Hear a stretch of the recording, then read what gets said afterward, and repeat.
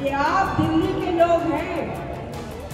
आप असलियत को और जो ना असलियत हो, उसको पहचानते हैं और उसको पहचान कर ही अपना फैसला कीजिए। मैं आपसे इतना कहना चाहती हूँ कि आप दिल्ली के लोग हैं।